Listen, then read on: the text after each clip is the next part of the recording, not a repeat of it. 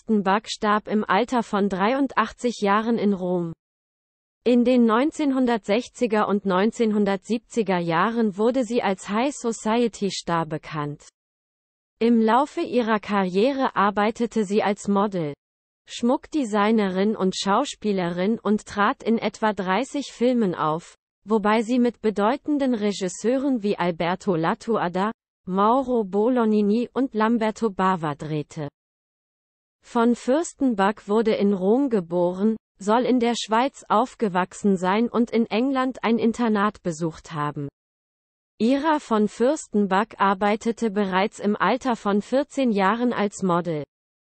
Bald darauf sorgte sie für Aufsehen und Skandal, als sie 1955 im Alter von nur 15 Jahren in Venedig Alfonso zu Hohenlohe-Langenburg, von 1924 bis 2003, heiratete. Das Paar, das bis 1960 zusammen war, hatte zwei Söhne, Christoph und Hubertus. Der erste starb 2006 im Alter von 50 Jahren. Hubertus ist ein ehemaliger Skirennläufer, Sänger und Fotograf. 1961 heiratete Ira von Fürstenberg den Geschäftsmann Francesco Matarazzo Pignatari. 1964 ließ sie sich erneut scheiden. 1985 sorgte eine angebliche Affäre mit Fürst Renier von Monaco.